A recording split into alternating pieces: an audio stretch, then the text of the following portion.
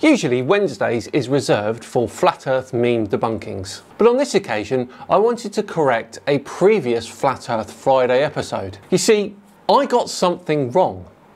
And believe it or not, once I correct it, it's gonna get worse for the flat earthers.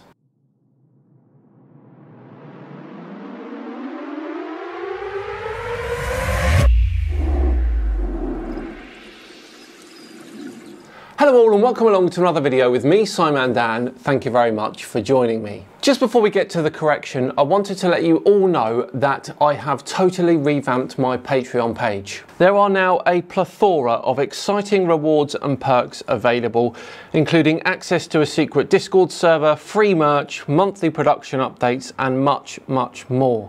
Now, these are all designed to enhance your experience and bring us closer together as a community. The link is in the description, have a browse, and come and join me over on Patreon. Right, on with today's video, which if you remember is a bit of a correction video. Now the video in question is this one from with the Sun 33. I don't know if you remember it, but he was basically looking at Long Island and claiming that he should not be able to see it when we could clearly see it. Now, for context, I'm going to play you my original theory as to what I thought was going on. Have a look at this. Well, your footage is awful, that's a given. But crucially, you're missing a few things. And I think you'll find if you look into them a bit, it's not going to help you much at all. We have the distance, that's fine, 20.6 miles to that northeastern tip. However, some parts of Long Island are only 18 and a half miles away from you at that beach and some areas are elevated up to 50 metres. Typically though, the elevation on that part of Long Island ranges between 0 and 30 metres. And then we've got to take into account your position on Waterford Beach. From your footage at the start, it clearly shows you that you're not at the water's edge. Now this could put you at 2 metres above sea level. Now of course we've got to add 1.5 metres because you're holding the camera at about head height. You don't look like an especially tall guy. So that would give us an observer height of around three and a half metres. Now, let's put all of that into our proper curve calculator, shall we? Oh dear, 45 metres hidden.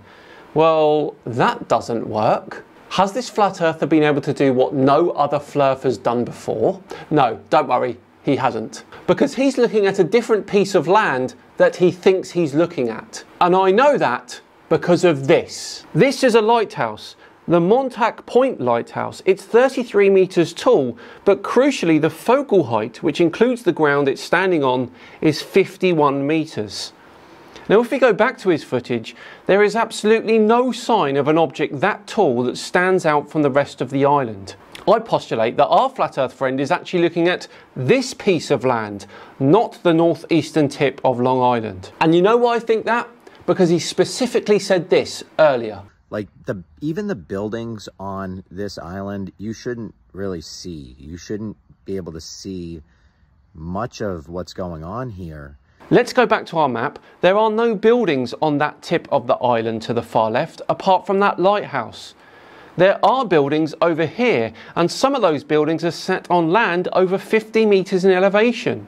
Now if we pop our new distance into the curve calculator, we can see that only 33 metres should be hidden. Plenty of room to be able to see both land and houses on that part of the island. The thing is, he wasn't actually looking at that part of Long Island like I suggested. In fact, he wasn't looking at Long Island at all. And what he was actually looking at makes it even worse for Flat Earth. Now, thank you to the few people in the comments that actually pointed this out. It was a very small detail that I missed. Now, let's see what is actually going on, shall we? You see, in this clip here, when he first zoom in to what he thinks is Long Island, you can see this lighthouse here.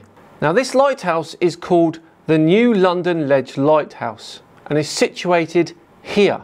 Now, it is my belief that our flurf was actually situated on the beach next door, Ocean Beach, and he was actually looking east towards Fisher's Island at a distance of only 8.46 miles away. As you can see from this line of sight, it passes just to the right of the London Ledge Lighthouse. And that matches up with his video as he started to zoom in to what he thought was Long Island. Now, if the observer was stood at 2 metres elevation and we include the 1.5 metre camera height and the distance was 8.46 miles, there should only be 2.76 metres of land hidden. So there's no wonder that you're going to be seeing this Fisher's Island, is there, my friend? The very fact that we can see the lighthouse in your footage before you zoom in completely debunks you. And to be honest, knowing where that lighthouse is, how could you possibly think that that was Long Island? Long Island is in a completely different direction. Oh dear, oh dear,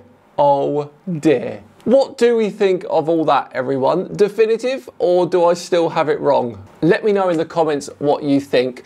But for now, I want to say we're all done and dusted for another one. It was just a short correction video today. I wanted to make sure that we had it exactly right with what was going on, and it definitely makes it worse for his video. Thanks so much for watching. If you enjoyed this one, please do consider subscribing to the channel. Hitting the thumbs up button too would be great, and sharing this one too would be fantastic. Look, I get things wrong from time to time. Of course I do. I'm only human. Uh, but this on this occasion, it was quite important that we corrected this, and I'm glad I did because it turned out to be be actually better for the globe than not.